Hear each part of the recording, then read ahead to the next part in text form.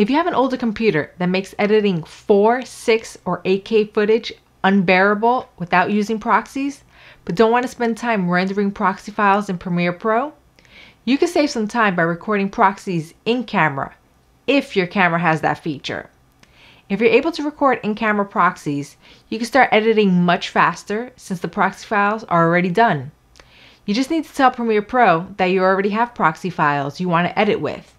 In this video, I'll show you how to attach proxy files that were created in camera in your Premiere Pro project. So let's get into it.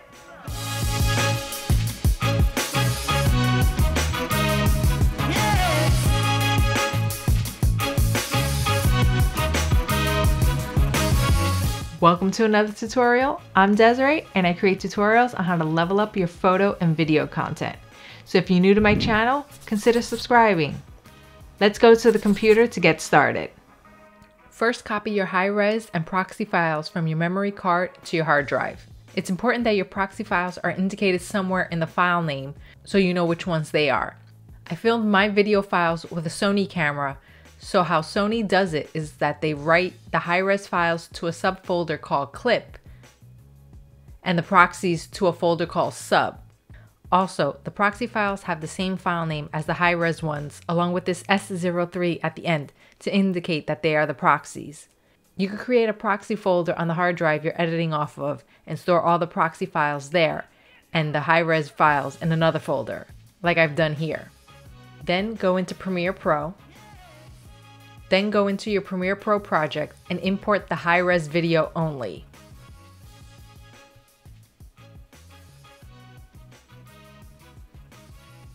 Right click on the video and go down to proxy, then select attach proxies.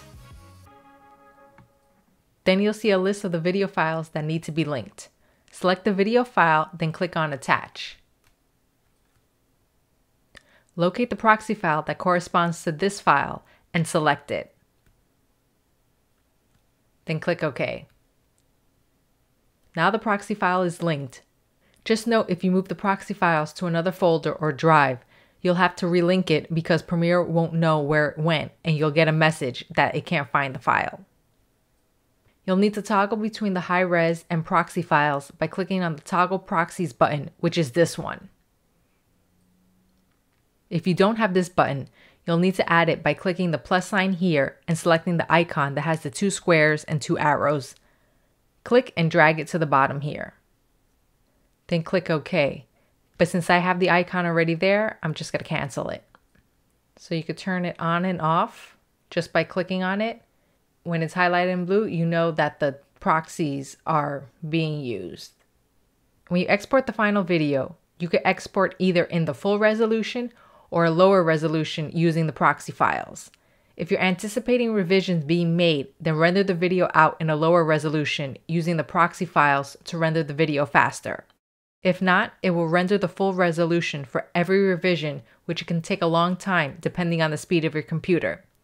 Once there are no more changes, then render it out in the full resolution.